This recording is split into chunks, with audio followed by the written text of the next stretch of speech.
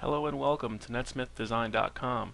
Today is June 24th, 2009, and this is our second webcast. Today we're going to be talking a little bit about W3C validation and compliance with the standards set by that organization and why it's important to your website and its coding.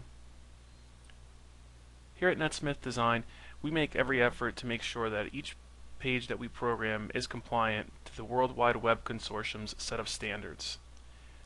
Some of you out there might be wondering what exactly is the World Wide Web Consortium. And so I'm going to go ahead and show you by visiting their website. And you can reach them by going to www.w3.org and you'll notice that they have a lot of cool little resources here. Uh, everything from activities, uh, technical reports, uh, accessibility, HTML.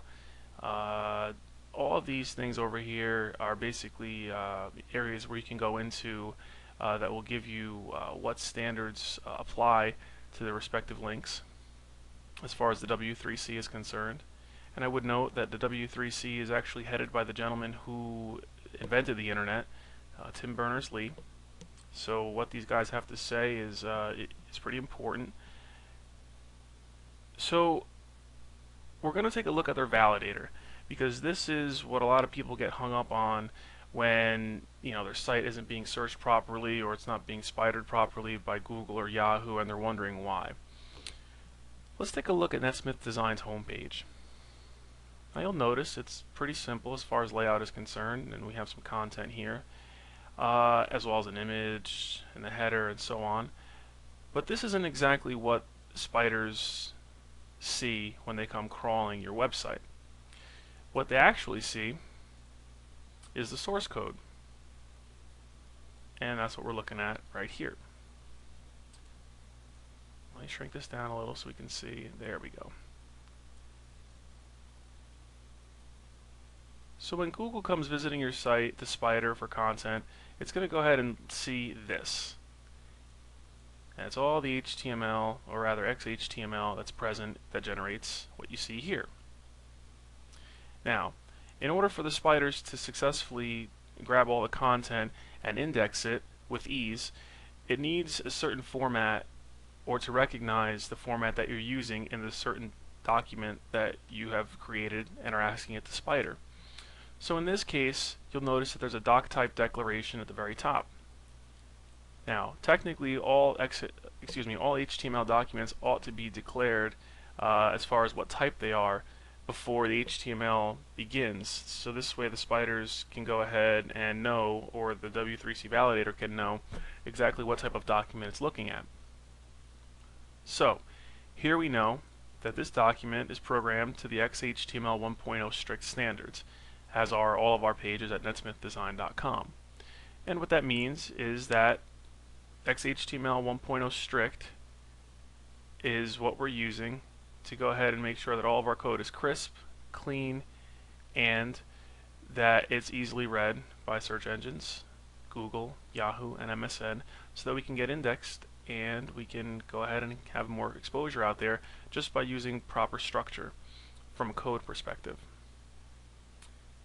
Now, let's close the source code and let's get back to the actual validation or the process of validating. So at the w3.org's website, we can go ahead and access their validation area. And I'm actually going to go ahead. There we go. And there's a link right there for the W3C validator. It'll just take a moment to load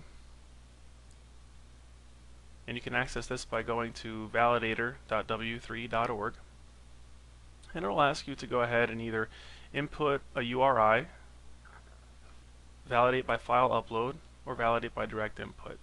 Most times you can just plug in a URI uh, and it'll go ahead and take that with no problem and get right back to you with the results. And that was that's what was generated previously, but just so that you guys know that I'm not uh, fudging any results here, I'll go ahead and put in our website's URL, check it against the validator. It'll take a moment to go ahead and spider the document and to go through all of the different tags, and here we are. The document was successfully checked as a XHTML 1.0 strict. In short, that means that all the standards laid out by the W3C have been met by this document as far as XHTML 1.0 strict goes. That's one of the tougher standards to go ahead and meet. Uh, not a lot of program, well, I shouldn't say not a lot, but a good number of programs programmers would prefer to work in an XHTML transitional because it gives them a little bit more license to go ahead and use different tags or not necessarily deprecated uh, elements and tags, but you know elements that XHTML 1.0 strict doesn't allow to be used because of the move towards separating content from styling. Um, so, and for a host of other reasons, but those are the, that's the main one. So, you'll notice also that they'll give us icons that we can use to throw on our website to say that we've gone ahead and passed their validator, and the document checks and it's programmed to well, one of the highest of standards for that language. You can also go ahead and validate CSS, which stands for Cascading Style Sheet. And there you go again. That's NetSmithDesign.com's homepage. No errors are found.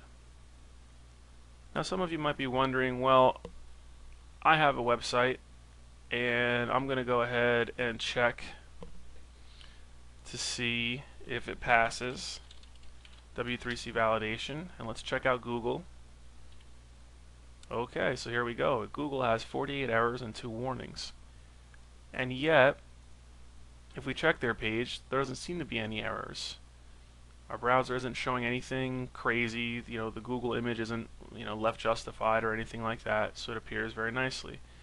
If we were to check it in a different browser, we'd notice the same thing, that the page renders just fine. And so one might wonder, well, is, more, is validation necessary? And the short answer is no. Validation is not necessary, or compliance, I should say, with the W3C standards is not necessary for your website to render uh, just as you'd like it to.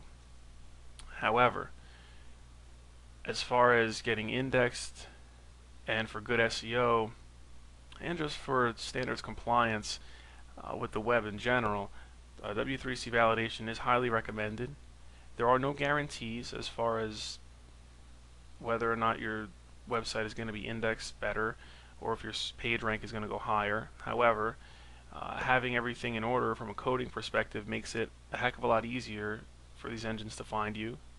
It's also great for SEO just because they don't have to search too hard or run multiple spiders or scans to go ahead and get all your keywords. They know exactly where to find them.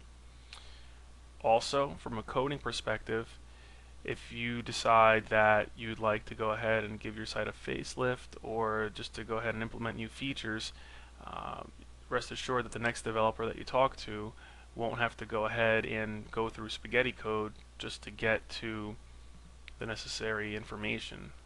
Okay, because it's programmed uh, and is standards compliant, any developer uh, who understands why it's important to go ahead and use that uh, compliance uh, based coding will know exactly where to find what he's looking for and will be able to make adjustments accordingly to your website.